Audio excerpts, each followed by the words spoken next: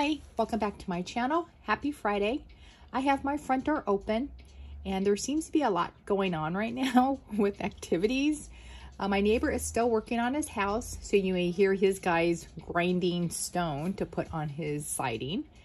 And somewhere on this block or the next block over, somebody is getting their trees trimmed.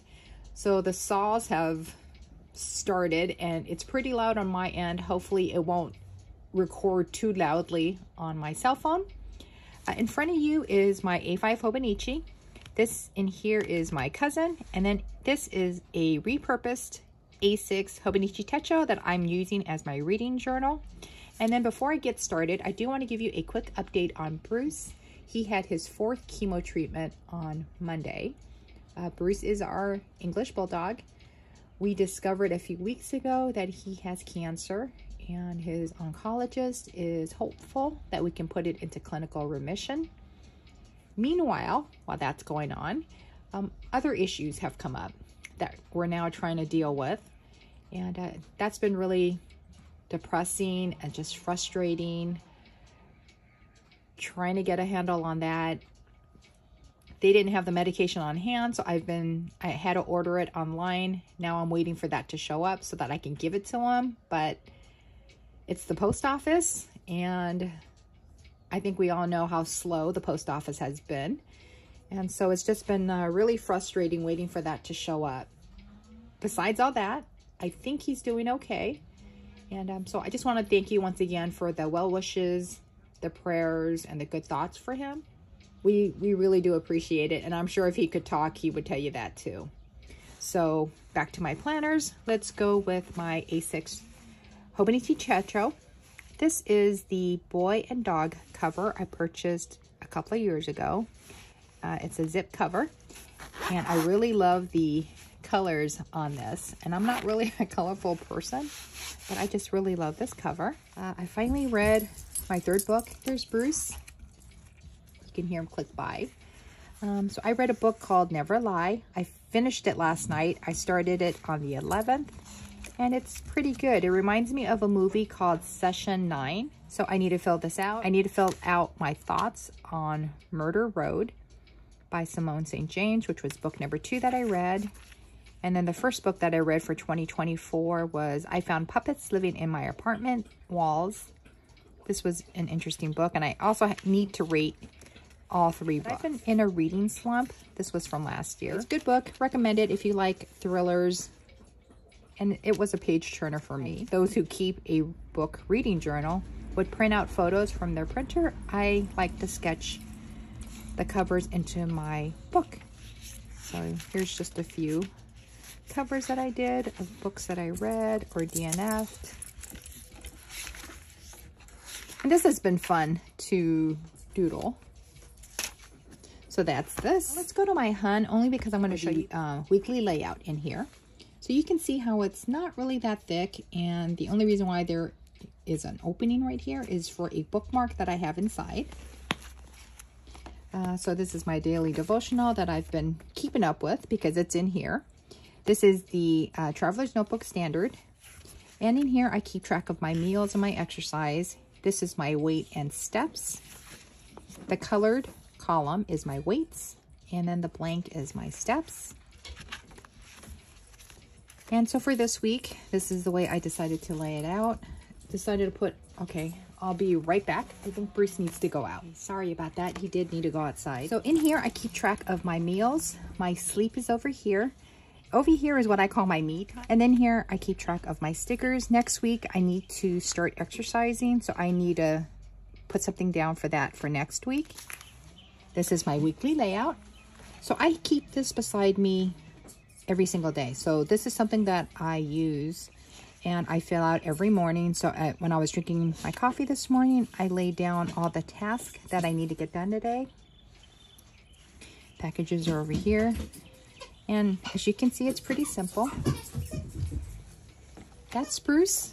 Hopefully that won't bug you too much. But again, hearing him play, and he hasn't done this in a really long time, is pretty nice. So this is really functional I want to say it's really simple because I use very little washi compared to what I'm going to show you now in my cousin. This is the weekly layout for this week. So you can see how it's pretty, it's prettier. It's more filled.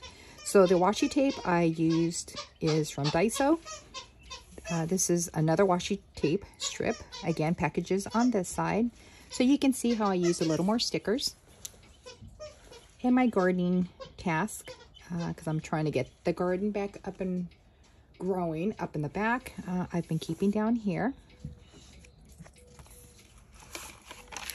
This was for last week and the week before. And now let's go to this week's daily pages. So I think I left you off here on Thursday. This is Friday. So here's a selfie, selfie of me and Bruce. So that's what Bruce looks like if you haven't seen him before. And he's also the dog uh, right here. This is Angus Rose. She was our first bulldog. Um, she passed away seven, let's see, uh, in 2018, so six years ago. So, and we adopted him a couple of months later in 2018. Uh, these are some freesia bulbs that I planted in a container, a big clay pot. Uh, that I sort of am calling sort of like my mom's pot because I have some of my mom's Chinese plants growing in this pot as well as some plumerias and my mom likes freesias. So I created a pot for her. So my mom fell in mid to actually it was late October, October 26th last year. Um, and she's currently in rehab facility, uh, but I don't think she's going to be going home to my dad. So anyways, I uh, took a photo of the first freesia bulb that bloomed in her pot that I created for her. Now I paper clipped the two pages, uh, which is Saturday and Sunday because Sunday was Mother's Day. So I hope you had a nice Mother's Day um, if you celebrate it. But it was filled with family photos because my siblings, we all showed up at uh, the home to hang out with my mom and we haven't done that in a really long time. So I filled both pages with photos that we took with my mom. Uh, so this is Monday. So this is after our visit with the oncologist. So that's me and my husband. And then there's Bruce laying down on the floor waiting for the oncologist to come in that way.